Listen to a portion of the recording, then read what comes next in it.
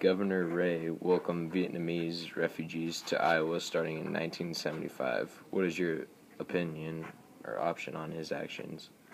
How did this make you feel as a veteran? I thought it was great.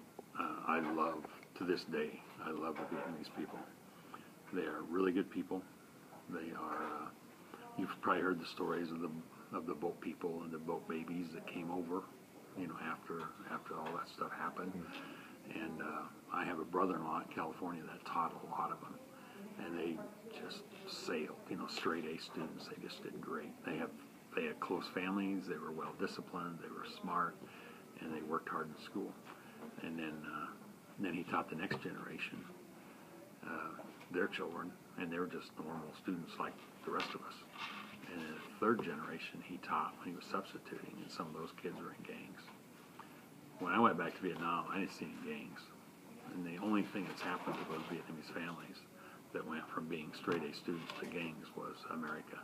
In other words, we messed them up. They came into our culture, got incorporated into society, and, and kind of went the wrong way. I think a lot of them did. So, um, so that's that's one example. Um, but I enjoyed working with the Vietnamese people.